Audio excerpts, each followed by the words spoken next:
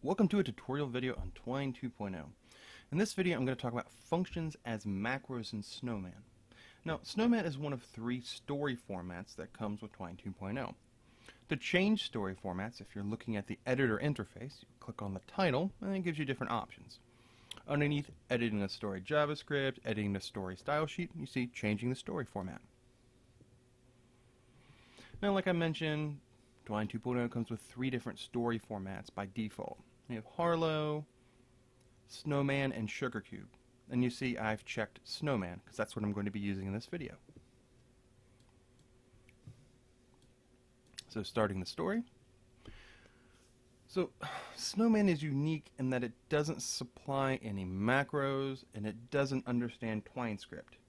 So if you're used to using things in Harlowe, like the set macro, it doesn't exist in Snowman. The same with SugarCube as well. Like if you would be setting different options using the link macro, the actions macro, or different things like that, none of those exist within Snowman. It has none of it. So in place of all those decisions made for you of different functionality and different macros you can use, in Snowman you can use whatever HTML, CSS, or JavaScript you want nearly anywhere you want. However, it's a freedom that can be pretty confusing to new users.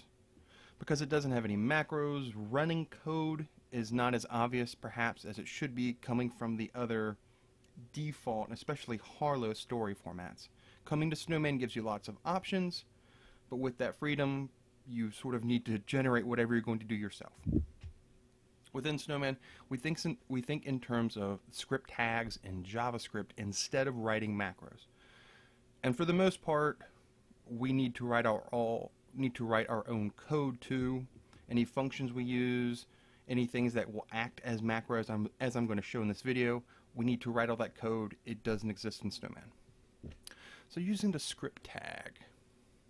So unlike Harlowe or SugarCube story formats, the script tag, that is an HTML element that allows you to run JavaScript. You put the JavaScript within, within it, and it is it's run as soon as the browser sees it. So like I said, in order to run some JavaScript immediately, we can have script tags. But we couldn't use them in the Harlowe or SugarCube formats, but we can within Snowman. Snowman is the only one of the three that we can use a script tag directly within it. All story formats in Twine 2.0 also come with a jQuery JavaScript library as well. So anything you can do within jQuery, you can also do in the JavaScript of the all three different story formats and within the passages in Snowman. For example, if we wanted to change the background color, as I did here, of the element with the ID of passage, which is this element within Snowman, we can change it, as I did, when the passage renders by having the code run immediately. So I have a script tag within this passage, and it's run as soon as the passage was rendered. When Twine got to it and showed it, it ran that code, that script tag. And it ran this example code right here.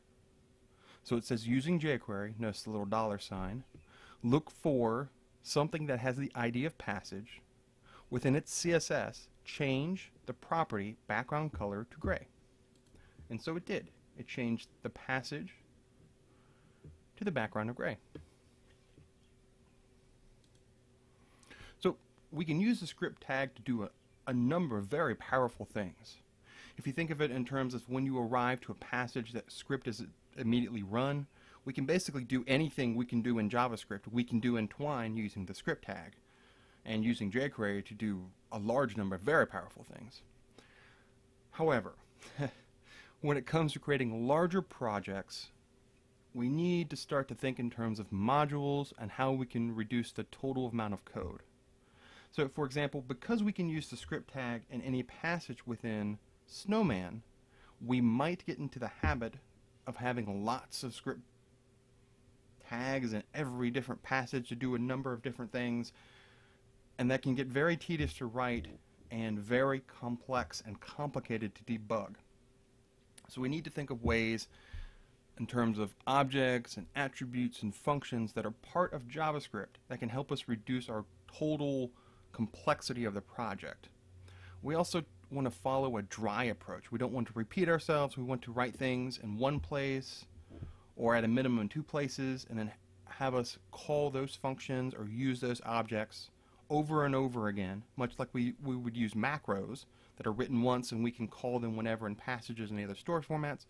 We want to follow a similar approach for using JavaScript and the script tags within Snowman. So, a lot of howevers in this video. However, as I outlined in another video, the using JavaScript within Snowman video within this tutorial series, functions used in script tags have a bit of a problem in Snowman and that you can't call them outside of that passage. Passages, when the script tags are run, exist in different function scopes. You can think about it sort of as in different areas that they're running in the program. They can't talk to each other because they're not sort of neighbors. They're on different parts of the JavaScript street as a sort of a convoluted metaphor there. However, there is a way, there is a way around this. We can add to the document. So one way to get around this problem of function scope is to create something all the functions can see. So in other words, we can bind to an object at a higher scope than any of the script tags. Within a browser, there's a global object called window window is in fact the entire window as you conceive of it, including everything that's in the HTML document and different events like clicking on thing, it's everything. It's a global object window. There's also a document specific object called document. Very helpful name. So while we can add to the window object, is highly don't do it. it is not recommended. Do not do that. Instead, we can add to the document object. So for example, as part of this video, I'm going to be showing how to use the document twine object I created within the story JavaScript. So I'm going to pause this and move back to the code to show you that. So as I mentioned at the very beginning, if we click on the title menu, we have a number of different options. The first one was to edit the story JavaScript. And I've done that. So as I mentioned at the top here, Twine2 comes with jQuery. We can also create a global document-wide Twine object by creating Twine object on document. So document.twine is an empty object. We can then add our functions to the object by simply adding new properties to that object. In this case, I've written a replacement for replace uh, a pretty common function within both Harlowe and SugarCube is we want to replace something due to a click or some other actions. So I've created sort of a, a functional replacement for replace within Snowman here. In that you call it as it's a function that is a property of the document twine object. We supply it with an ID or a class name, something jQuery can look for, and then a replacement text. And then this is a jQuery function that for whatever it finds, the ID or the class or something with the attributes, whatever jQuery can search for, edit its HTML and replace it with whatever we passed in with the replacement text. So it works just like replace would within Harlowe or within SugarCube. We call it, we hand it some replacement text that can include HTML, and it's replaced. Okay, so let's go back to the story. Okay, so we're looking at the document twine object, and I created a replace function.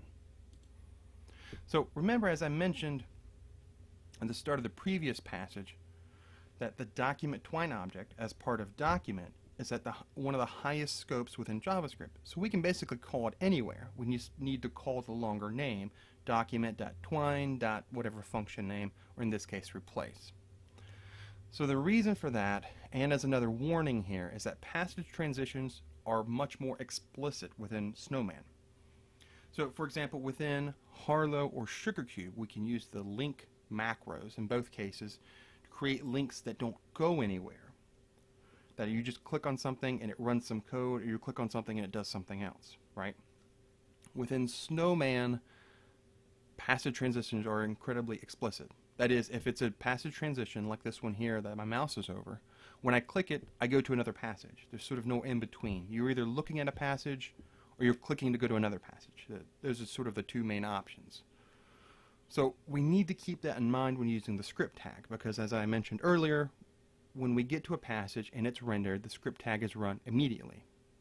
So to show you this example of using the replace function that's acting as macros would in other story formats, I have to have this whole introduction passage here to show you the text that it will be replaced when the next passage is rendered. kind of confusing. So this little example here, I have some text that I'm going to replace when I click on replace the text. So I'll click on it and the text is replaced. Ta-da! the text is replaced through a call to document.twine.replace. So let's close this and as a conclusion here, let's wrap up by looking at the code again. So as I mentioned, pulling up the story JavaScript, I've created a function that is a property of the document twine object I created, which means I can call it anywhere within the story.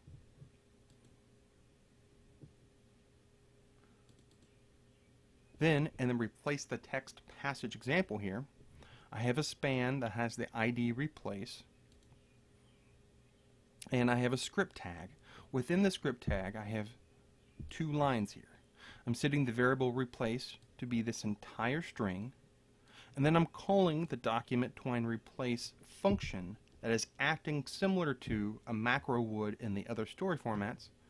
I'm supplying the jQuery search term, the ID with the name replace, similar to how replace works in SugarCube, by the way, and supplying it with something to replace whatever I wanted with.